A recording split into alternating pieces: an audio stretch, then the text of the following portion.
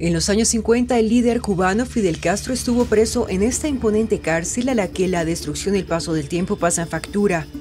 Se trata del presidio modelo en el municipio especial Isla de la Juventud. Su estructura, ubicada en un terreno de 400.000 metros cuadrados, se erige en medio de las montañas a 5 kilómetros de Nueva Gerona. El dictador cubano Gerardo Machado colocó la primera piedra del penal en 1926 similando la estructura panóptica de la penitenciaría Joliet en Illinois, Estados Unidos, en la cual los presos eran vigilados sin ellos saberlo. La construcción paró en 1932 por la falta de presupuesto.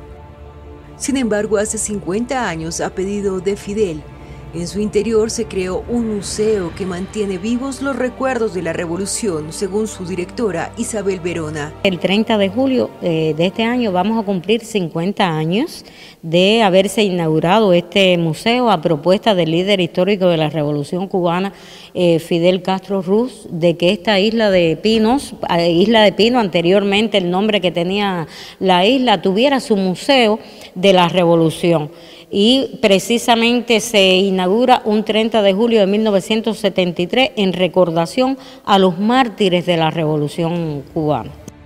Sus cuatro bloques circulares de cinco pisos cada uno albergaba a miles de presos hacinados y compartían cama y baño a la vez.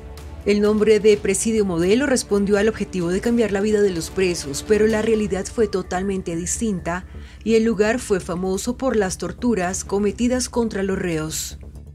Por sus estrechos confinamientos pasaron diversas generaciones de cubanos que lucharon contra los gobiernos de turno, tales como Fidel Castro y otro grupo de jóvenes acusados por el frustrado asalto a los cuarteles Moncada y Carlos Manuel de Céspedes el 26 de julio de 1953.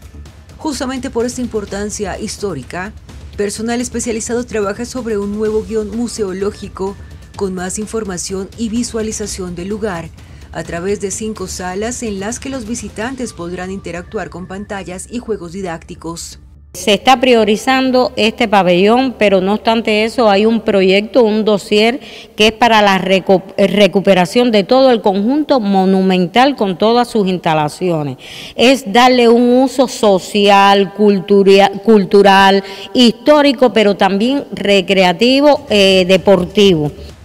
El inmueble atraviesa actualmente por una reparación capital que comenzó en abril de 2021, aunque el museo habilitado en la parte del hospital donde estuvo recluido Castro, ha seguido abierto al público con objetos y fotografías históricas.